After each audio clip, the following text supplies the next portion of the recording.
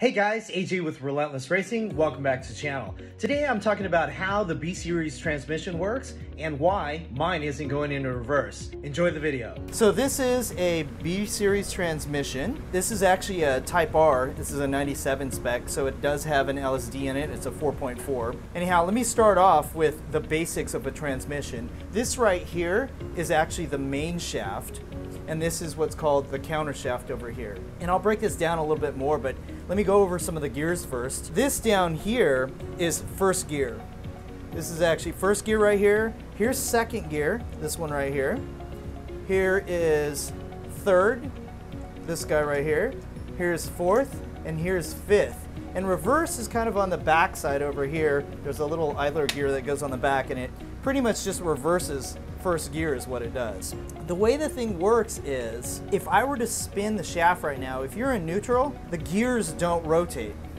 And so to prove this to you guys, what I'm gonna do is I'm gonna lift part of the transmission so I can reach my hand under and I'm going to start rotating the main shaft. Now the shaft is rotating and I could hold on to the gears and they won't move. And the reason why is because these gears, they're not attached to the shafts. And how they eventually attach to the shafts is with the synchro assemblies. So this is what's called a sleeve, and I'll break down this down a little bit later. Let's say that you wanted to go from neutral into first gear. Your shift fork, which is this guy right here, which is actually attached to the sleeves, that'll attach kind of like this, and then you'll actuate them, moving them up and down. So if I want to go into first gear, I will shift in first gear and then this thing moves down. Now this sleeve transfers torque from the gear to the sleeve to the hub and then it'll come on out. And then if you want to go into second gear, you'll actually move the shifter again and this thing will come up. Now it's all in neutral. When we want to go into third, it goes down here. Into fourth, goes up. Now it's in fourth gear. Now fourth gear is actually attached to the shaft. And then as it comes down, it's back in neutral. So here's the problem area on my transmission. The problem area on my transmission is it'll go into fifth gear, but it won't go into reverse. Reverse, this sleeve needs to move upwards, and it won't move upwards, and it's because the sleeve is damaged. So let me explain to you again how the torque gets transmitted through everything. The main shaft, which is down in this pocket down in here, the power comes from the motor, it'll attach it to the main shaft.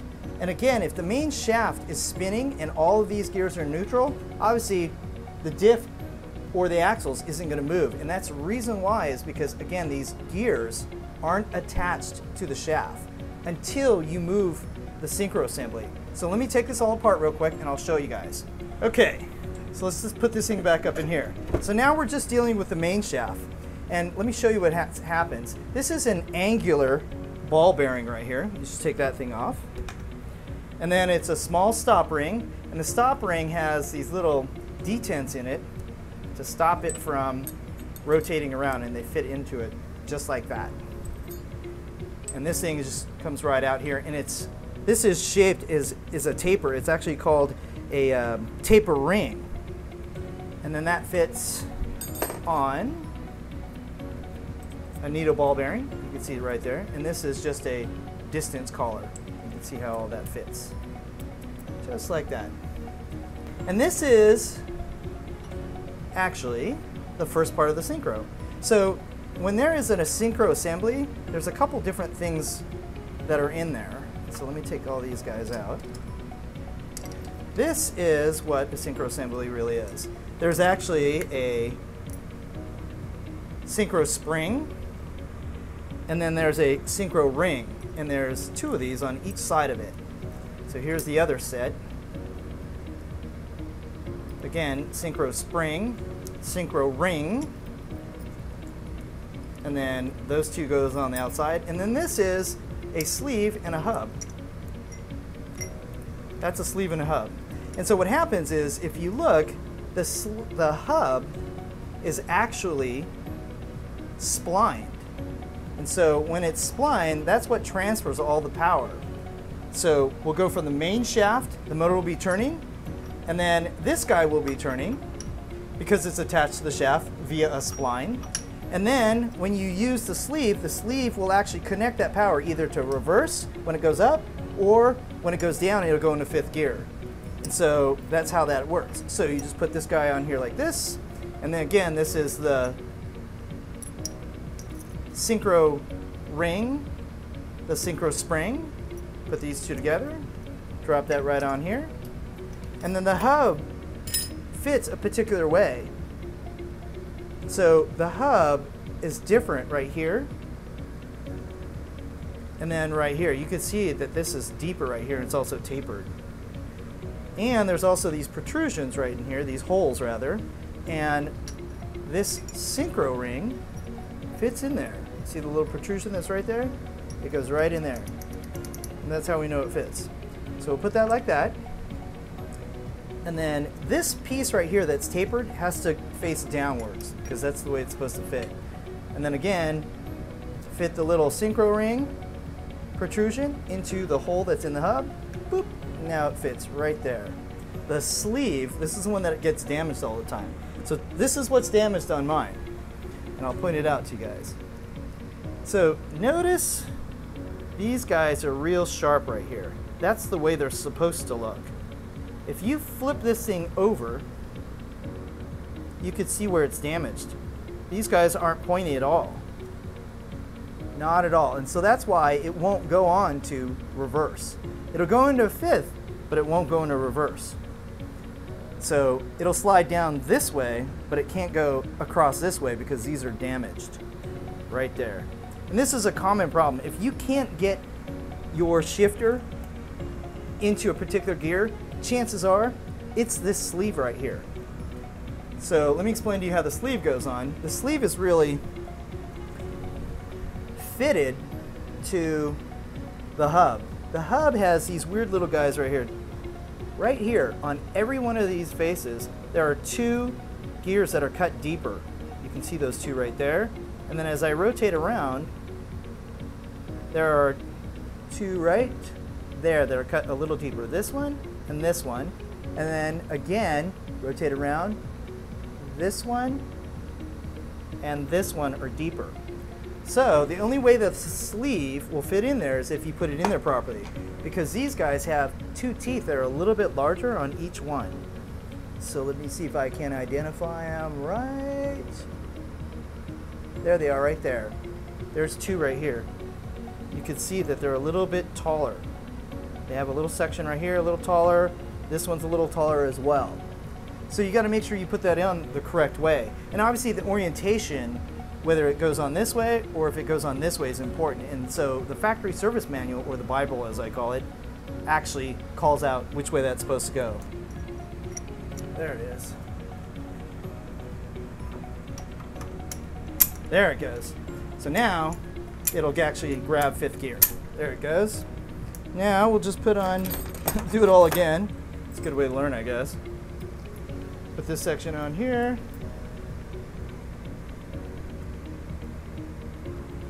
Put the ring on, and then right there. And then this guy, that's the tapered ring.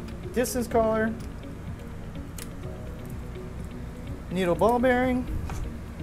Stopper ring and angular ball bearing. If the motor is turning, this shaft will be turning, but notice I can grab the gears and hold them still because they're not attached. The gears will not be attached until the sleeve is actually engaged over the gear like that. Now, fifth gear is locked. But look, I can still rotate and fourth gear is not attached at all. But fifth gear is. But once I release the sleeve, fifth gear can rotate on its own. See? All right. And that's pretty much the basics of a transmission. And then again, my sleeve is damaged, and so I'm going to take all this apart, review all of these bearings, and make sure everything is cool. Got to check all these bearings. I'll probably end up replacing all these bearings because it's just cheap insurance. You don't want to go through here and then not have that go through there and have a bad bearing and then have to go in here again. All you had to do was just switch out these bearings. There's really only four bearings in here. There's one on the top of the main shaft, one at the bottom of the main shaft, and then the same thing for the counter shaft. There are also two other bearings in the diff, which is over, over here. So to pull the diff out, you just kind of grab it out like this. You can see the diff, and there's two bearings on it. Taper bearings, one on each side. And then uh, this is the final drive right here, that right around this guy right here. The bearings are about 70 bucks a piece. Okay, you don't have to buy them from Honda. As long as you take down the numbers that are on the bearings, you can see the numbers that are on the bearings. Just pop this guy off. The numbers are actually on the bearings, but until you open this thing up, you won't know what that number is. This one is a particular bearing, is an NTN bearing. You can see it right here, the NTN, and then there's a part number right there, so you can try and do those. Transmissions are super simple, and if you ever wanted to tackle this, it's actually pretty, uh, not too bad. So I think I'm gonna replace, end up replacing all of these synchro assemblies.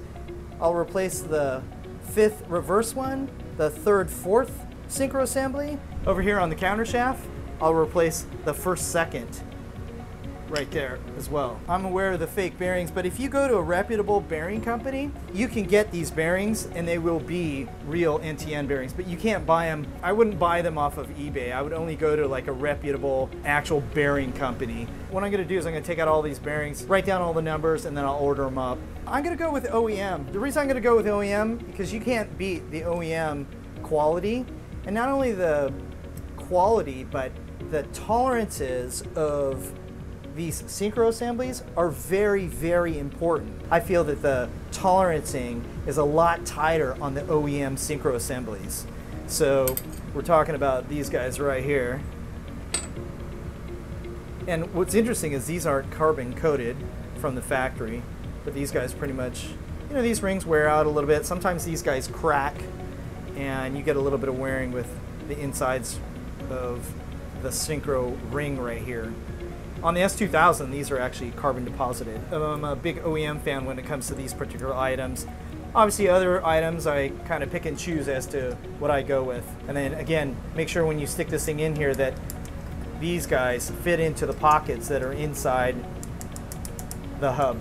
Yeah, here are the little houses. These aren't damaged actually. These actually look really good. And so these actually help the sleeve go over the hub. It allows it to slide easier along the hub. You can see the little teeth, they kind of match. And these guys kind of go in there kind of like that. You can see them, let me grab my little pointer stick. They kind of fit inside these guys to allow them to slide over them. And that's kind of how they fit. Boom. Just like that. So you can imagine that if the other side is damaged, the synchro ring will not go down through them. Sometimes it does. Oh, this one does still, even though it's damaged, it still does it, but it won't go over the actual bearing. So here's the bearing right here. It won't go over the bearing part. So this sleeve has got to go onto this guy like that. But sometimes it won't fit because they're damaged.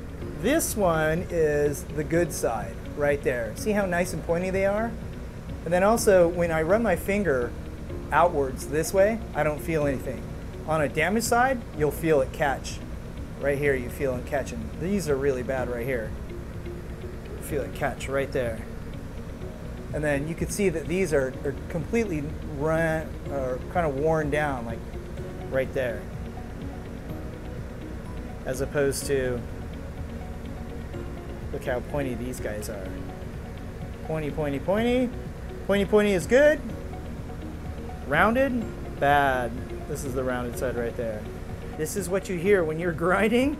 It's this guy. You're just running these things down is what's happening. And eventually you run them down so much you won't be able to shift into whatever gear it is that keeps grinding. So when I first got my car, it was having trouble going into reverse a little bit. And I knew it was going to let loose. I mean, the first race back in January, it was having issues. It was having issues going in and coming out of it. And so the second race came on, the third one, and finally at the at the night race, it finally let loose. And the guys actually, actually Johnny, uh, CTR Johnny, had to push me backwards so that way I can get on track. But uh, yeah, it's usually the sleeve that's the problem for that thing, and that's what you're here grinding right there. Anyhow, guys, uh, I guess I'll show this how it goes together one more time. I'm gonna put this gear back on. You can see a needle bearing there. This is another distance collar. And this is fifth gear. Put that guy on.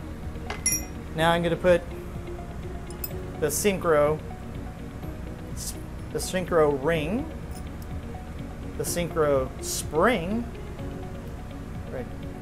snaps on right there. And I wanna make sure that I put the hub on properly this time. So let's see, it's got to go, because of the tapered edge, it has to fit down into here like that. And make sure that this thing moves down. Yeah, there it is. And then that has to fit like right there. There we go. Now it fits properly. And you can see the sleeve going over the synchro and then it catches the gear right here and then that sleeve this sleeve right here transfers the power that's coming off of the shaft from this hub to the sleeve to the gear and this gear takes it to the counter shaft and then it takes it out to the diff. So then we'll put the spacer on and the needle bearing and then we'll put on the other synchro assembly. Another synchro assembly again this protrusion has to go in the hole that's in the hub just like that and then the tapered taper ring the stop ring, put the detents in the correct location of the ring so it fits right in there. Remember this little portion points down in this orientation and then these numbers have to point up in this orientation. And then Honda actually talks about in the book, they look at the side of it, the cross section of it, so this part versus like a solid part. And then when you push this thing on, just make sure you put it on concentric and it'll slide right on. If it's not concentric, it won't. That was pretty simple, right? Well, I highly recommend you take apart a B-Series transmission. One, to learn, and two, it's really simple. It's a lot easier to rebuild a transmission than it is to build a motor. All you really need is a little patience and of course, the OE service manual. This is AJ with Relentless Racing. Thanks again for watching. Stay relentless, and I'll see you on the track.